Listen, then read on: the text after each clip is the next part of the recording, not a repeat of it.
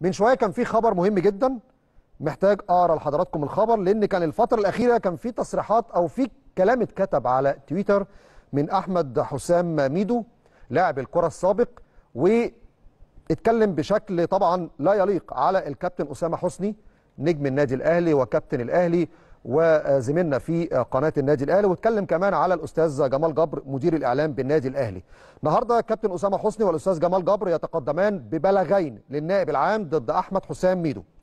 تقدم كل من أسامة حسني اللاعب الأهلي السابق والاعلامي بقناة النادي الأهلي وجمال جبر مدير الإعلام بالأهلي ببلاغين إلى معالي المستشار النائب العام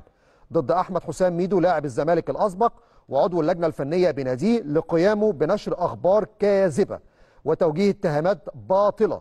إلى سالفي الذكر من خلال حسابه الشخصي على موقع التواصل الاجتماعي تويتر بهدف الإساءة والتشويه لأغراض تتنافى مع المبادئ وأخلاقيات المجتمع. جاء في البلاغين اللذين تقدم بهما المحامي الشهير المستشار محمد عثمان أن ميدو خرج عن القواعد الأخلاقية دون سند أو دليل ولأسباب شخصية وحاول أن يستثمر كتاباته ووجه اتهامات لا أساس لها من الصحة لإثارة الفتنة بين المنتمين للأهلي والزمالك في الوقت الذي يحتاج فيه الوطن إلى التكاتف ووحدة الصف.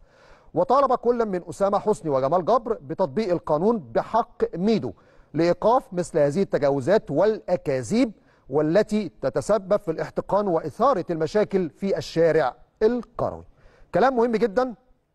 وتحرك قانوني مهم جدا من الكابتن أسامة حسني ومن الأستاذ جمال جبري من خلال المستشار القانوني الأستاذ محمد عثمان وكل واحد يغلط لازم يتحاسب على خطأه. إحنا في بلد بتحترم القانون والقانون بيتطبق على الكبير قبل الصغير واللي بيغلط لازم يتعاقب وياخد جزاؤه.